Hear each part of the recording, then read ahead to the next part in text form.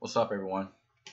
Today I'm going to bring you a, uh, a demonstration on Wireshark and how to capture uh, passwords and usernames through HTTP. Not HTTPS, but HTTP.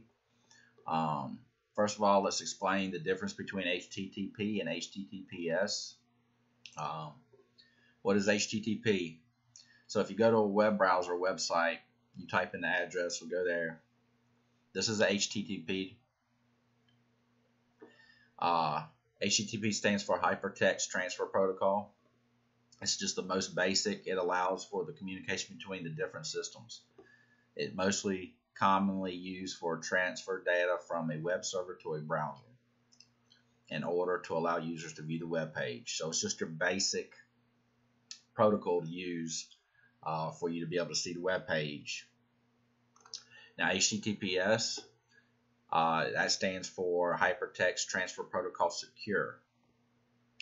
Uh, if you go to their website, an HTTPS website, you, you'll mostly commonly see like a little lock right here before the HTTPS. That stands that is secure. It creates an encryption connection. It encrypts everything going through, so it's all uh, encrypted. Uh, here's the difference. I've done a little demo about the difference between HTTP and HTTPS. So if someone, say this woman Helen, she uses HTTP, she goes to a website, she puts in her password, a hacker can see this password by pulling it through Wireshark. Uh, Carol here, she uses HTTPS. So she goes to a HTTPS website, she puts the password in. Her password gets encrypted, so the hacker only sees this. See, that's the her as ABC123, but it's encrypted. So the hacker doesn't know the plaintext password. So on that note, we will go and uh, show you a demonstration on that. So I'm using Kali.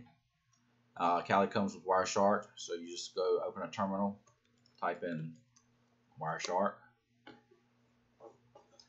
and Wireshark will open. These right here are your different uh, connections, and it shows you the traffic going through them. I'm on Ethos Zero, and I already have a web page I found that is uh, HTTP right here. If you see the lock, it's a line through it. Uh, you have a login. So what we're going to do is um, we're going to start up my Wireshark real quick.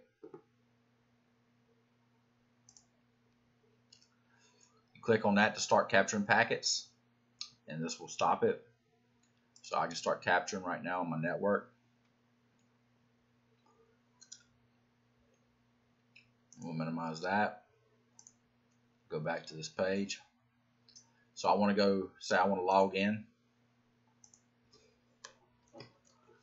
My, my login name is going to be hacked.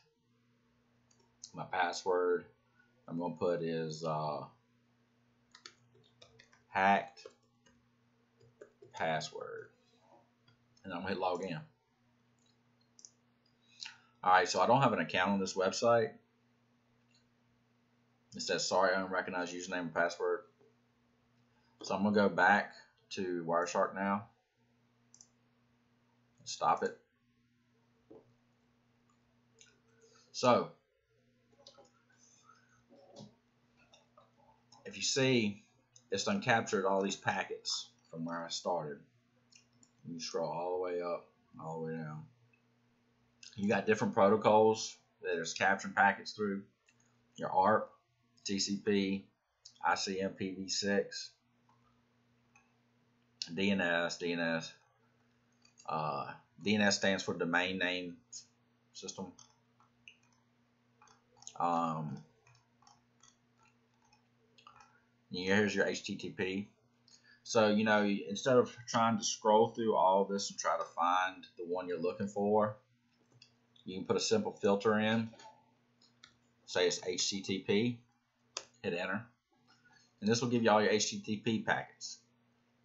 All right, so you still got a few right here that you need to get through. So in order to narrow it down a little bit more, you want to do a HTTP dot request, then a dot method. And then you want to do a equal equal and then post all in caps with another. All right. So now I hit enter. Now it's going to give me two. I got two of these I'm going to have to look through. But uh let's get going here. If you see here we can uh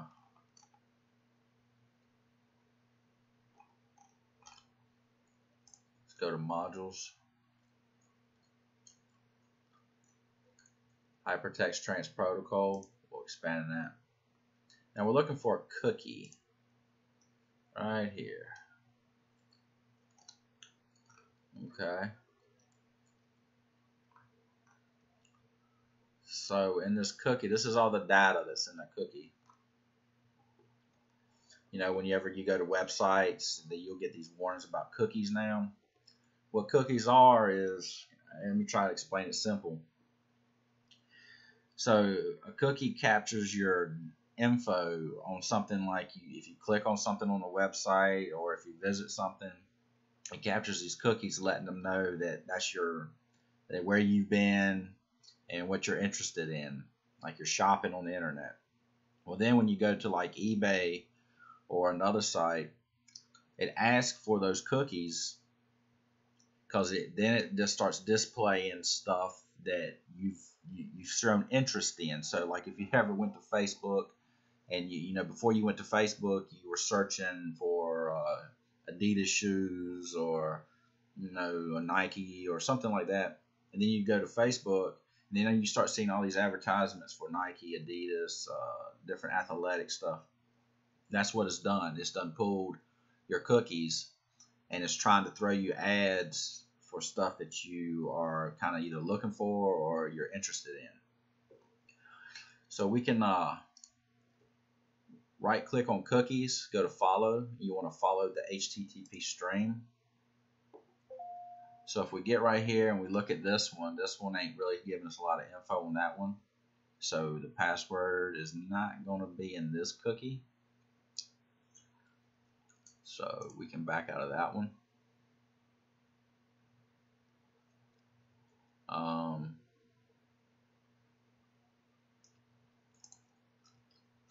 let's go back to HTTP and it saved it right there. So we'll go to this one. Let's see, follow HTTP stream. There's the one we're looking for. So if you go scroll down through it, you know, it looks like a bunch of code or whatnot, but what it is is actually HTTP um, right up. So right up here, if you look, uh, you know, it tells you uh, your user agent, type of system you were running, which I was on Linux, my language, um, and if you go down right here, there it is. If you look, name.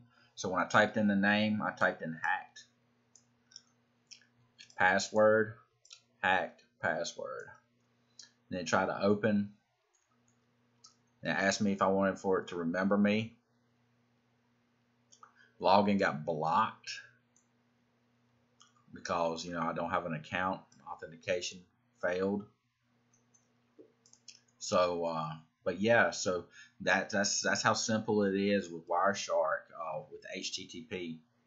Uh, so like if you're ever out in public at a coffee shop, restaurant, you see people sitting there, like a guy or whoever sitting there with laptop open.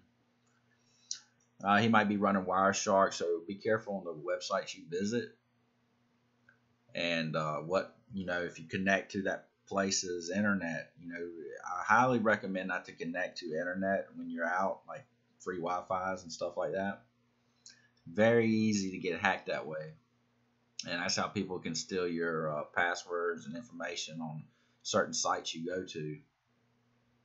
So uh, just be careful with that. I wanted to show that today. Uh, just a little simple, quick video on Wireshark. Um, like I said, I'm, I'm still I'm still learning so much stuff, man. It is just endless, but it's fun. But uh, that's it. Uh, just wanted to bring this out here to y'all, give you a heads up on HTTP and HTTPS. So on that note, I'll be doing another video soon. Later.